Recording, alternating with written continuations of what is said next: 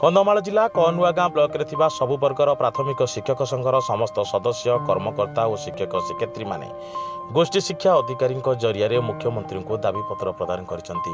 ଶିକ୍ଷକ ସଂଘ ପକ୍ଷରୁ ଆଜି ପ୍ରଥମେ ରାଜସ୍ୱ ବଙ୍ଗଳା ନିକଟରେ ଥିବା ବିଜୁ ବାବୁଙ୍କ ପ୍ରତିମୂର୍ତ୍ତିରେ ପୁଷ୍ପ ମାଲ୍ୟାର୍ପଣ କରି ସମ୍ମାନ ଜଣାଇଥିଲେ।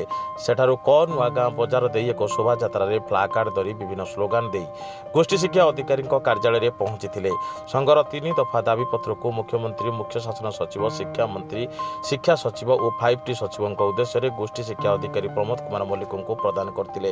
ବିଗତ ଦିନମାନଙ୍କରେ ବିଭିନ୍ନ ମାଧ୍ୟମରେ ସଂଘ ପକ୍ଷରୁ ସରକାରଙ୍କ ନିକଟରେ ଦାବି ରଖିଥିଲେ। ମଧ୍ୟ କେବଳ ପ୍ରତିଶ୍ରୁତିରେ ରହିଯାଇଛି। ତେଣୁ ସଂଘ ପକ୍ଷରୁ କ୍ଷୋଭ ପ୍ରକାଶ କରାଯାଇ ଆମର ନ୍ୟାର୍ଯ୍ୟ ଦାବିକୁ ସହୃଦୟତାର ସହିତ ସରକାର ଗ୍ରହଣ ନ କରି ଆଠ ମାସରୁ ଅଧିକ ହୋଇଥିଲେ ମଧ୍ୟ ଟାଳଟୁଳ ନୀତି ଅବଲମ୍ବନ କରି ପ୍ରତାରଣା କରୁଥିବା ଯୋଗୁଁ ଆସନ୍ତା ଅଗଷ୍ଟ ଷୋହଳ ତାରିଖରୁ ସମସ୍ତ ଶିକ୍ଷକ ଶିକ୍ଷୟିତ୍ରୀ ସାମୂହିକ ଛୁଟି ନେଇ ଆନ୍ଦୋଳନ ତୀବ୍ର କରିବା ପାଇଁ ଚେତାବନୀ ଦେଇଛନ୍ତି। ଉକ୍ତ କାର୍ଯ୍ୟକ୍ରମରେ ବ୍ଲକ ଶିକ୍ଷକ ସଂଘ ସଭାପତି ବୁଲୁ କୁମାର ନାୟକ ଉପସଭାପତି ଶାନ୍ତନୁ କୁମାର ସାହାଣୀ ସମ୍ପାଦକ ରାକେଶ କୁମାର କୋଠ ଦଳାଇ ବରିଷ୍ଠ ଶିକ୍ଷକ ଲବ କନ୍ନର ଡମ୍ବରୁଧର ବସ୍ତିଆ ସୁକାନ୍ତ କୁମାର ମହାପାତ୍ର ସୁଶୀଲ କୁମାର ପାତ୍ର ରାଘବ ଦିଗାଲ ଉପାସ- ଉପସଭାନେତ୍ରୀ କୁମାରୀ ସସ୍ମିତା ରାଣୀ ନାୟକ ମନୋଜ କୁମାର ବିଶିମାଝୀ ଈଶ୍ୱର ଚନ୍ଦ୍ର ବେହରଦାଳାଇ ଉପଦେଷ୍ଟା ପ୍ରଦୀପ କୁମାର ପ୍ରଧାନ ପୀତବାସ ନାୟକ ଲାଲୁ କୁମାର ମଲ୍ଲିକ ପ୍ରମୁଖଙ୍କ ସମେତ ବ୍ଲକର ଶତାଧିକ ଶିକ୍ଷକ ଶିକ୍ଷୟିତ୍ରୀ ଶୋଭାଯାତ୍ରାରେ ଅଂଶଗ୍ରହଣ କରିଥିଲେ।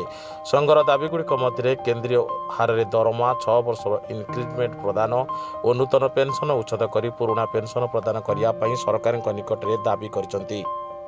କ'ଣ କହିବେ ଯେ ଆପଣ ଯୋଉ ଆନ୍ଦୋଳନ କଲେ ବି କହୁଛନ୍ତି ହଜାର ହଜାର ପିଲାଙ୍କର ଭବିଷ୍ୟତ ନଷ୍ଟ ହେବ ସେ ବିଷୟରେ କ'ଣ କହିବେ?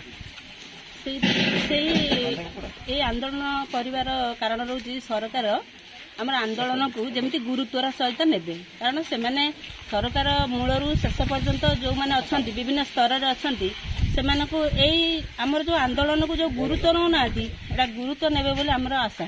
ସେଥିପାଇଁ ଆମେ ସବୁ ଦାବିପତ୍ର ବିଭିନ୍ନ ଦଫାରେ ଆମେ ଦେଇଛୁ ଦାବିପତ୍ର ନିଶ୍ଚିନ୍ତ ଭାବରେ ସେ ଏ, ଶୁଣିବେ ବୋଲି ଆମେ ଆଶା କରୁଛୁ। ନହେଲେ ପରବର୍ତ୍ତୀ ପଦକ୍ଷେପ ଆମ ସଂଘ ଯାହା ସ୍ଥିର କରିବ ସେ ଅନୁସାରେ ଆମେ ପଦକ୍ଷେପ ନେବୁ ବୋଲି ଆମେ ଏକଜୁଟ ହେଇଛୁ। ଆଜି ତିନି ଦଫା ଦାବି ନେଇ ଯେ ଆଜି ଗୋଷ୍ଠୀ ଶିକ୍ଷା ଅଧିକାରୀ ଯୋଉ ଭେଟିଛନ୍ତି କ'ଣ କହିବେ ସେ ବିଷୟରେ? ଆଜ୍ଞା ଆମେ ଦୀର୍ଘ ଆଠ ମାସ ହେଲାଣି ଯେଉଁ ସରକାର ପ୍ରତିଶ୍ରୁତି ଦେଇଥିଲେ ଆଜି ପର୍ଯ୍ୟନ୍ତ ସେଇଟା କୌଣସି ପ୍ରକାର କାର୍ଯ୍ୟକାରୀ କରିନାହାନ୍ତି। ତେଣୁ ଆମର ସମସ୍ତ ବର୍ଗର ବିଭିନ୍ନ ଯେଉଁ ଆ, କଳା କ୍ରୀଡ଼ା ଏବଂ ଏସ୍ କ୍ୟାଡର ଏବଂ ଗଣଶିକ୍ଷକ ସମସ୍ତ ବର୍ଗର ଶିକ୍ଷକମାନଙ୍କୁ ନେଇ ଆମର all Utkal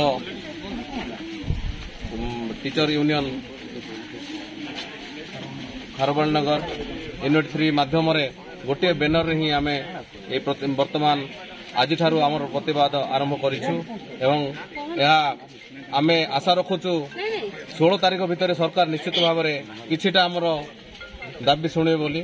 ଯଦି ନ ଶୁଣନ୍ତି ତାହେଲେ ଆମେ ତାର ବିକଳ୍ପ ପନ୍ଥା ମଧ୍ୟ ଗ୍ରହଣ କରିବା ପାଇଁ ନିଷ୍ପତ୍ତି ନେଇଛୁ। କନ୍ଧମାଳ ଜିଲ୍ଲା କ ନୂଆଗାଁରୁ ଭାଗୀରଥୀ ନାଥଙ୍କ ରିପୋର୍ଟ ସାଇ ସତ୍ୟ ନ୍ୟୁଜ୍।